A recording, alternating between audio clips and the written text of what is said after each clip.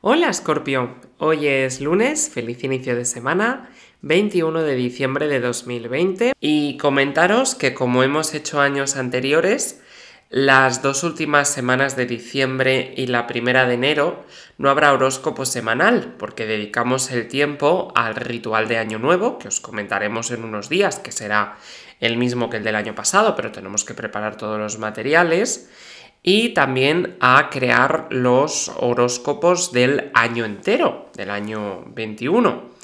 Eh, más que nada, esto lo hemos hecho todos los años por una cuestión de tiempo. Así que nada, comenzamos con tu predicción para hoy. Además que hoy es un día fantástico porque hay la gran conjunción astral que va a marcar muchas cosas de las que iremos hablando paulatinamente en los próximos días.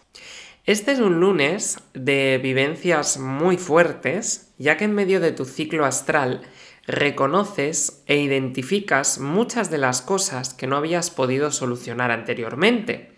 No es que hoy, justamente hoy, las vayas a solucionar todas, porque tampoco vas a tener tantas horas disponibles, pero sí que es cierto que empiezas a darte cuenta de que sin tu intervención en muchas de esas cosas, solas no se van a solucionar, sino que hace falta intervención. Confía más en tu intuición que generalmente no te falla, ya sabes que tú como elemento de agua eres un signo muy intuitivo y además eh, te sientes como si tuvieras una disposición a los cambios muy buena, digamos que eso suma, todo va sumando en pro de tu entendimiento de las cosas. Esta es una situación ideal para un primer momento, para un primer eh, punto clave de tu vida. Así que eh, puede servir tanto para dar el sí a algún tipo de proyecto laboral, como dar el sí a una declaración amorosa, como dar el sí a tu pareja. ¿Quién sabe?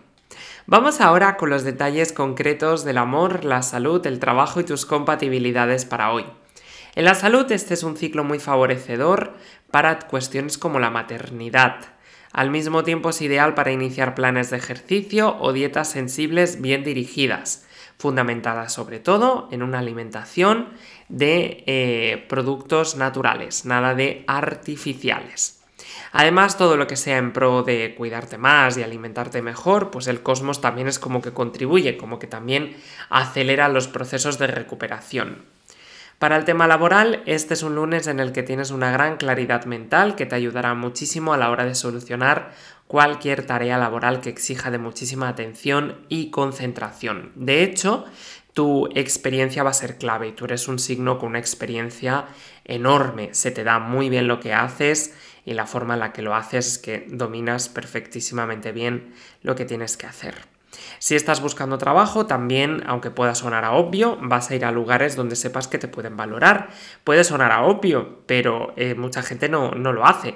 Y en caso tuyo, pues sí que vas a tener claro cuál es tu lugar, cuál es tu momento y cuál es tu conocimiento del medio. Para el tema económico-financiero, cuidado con las estafas tanto telefónicas como virtuales, porque durante este ciclo estás muy propenso, propensa a caer en la trampa de los estafadores. Además que te vas a creer muchas cosas que en otra época a lo mejor tú, que eres un signo de gran sentido común, no te hubieses creído. Así que ejerce toda tu prudencia y no te vas a equivocar en absoluto, lo vas a hacer todo súper, súper bien. En cuanto al tema del amor, las inquietudes quedan atrás porque ahora te encaminas por el sendero del amor, de la conciencia emocional. Si dudas, habla, conversa con esa persona, acláralo todo y verás lo bien que te sientes, como a partir de ahí cualquier tipo de incertidumbre emocional queda, bueno, totalmente esclarecida y si vienes de algunos días de un poquito de tensión o de ansiedad con respecto al amor, vas a sentir como esto se difumina, se queda en nada, en una anécdota, apenas una anécdota. También esta etapa será la que marcará en tu vida un tono fresco y llegará como un verdadero regalo de amor en tu ciclo presente. Así que aprovecha todo lo que sea en pro también de tu felicidad.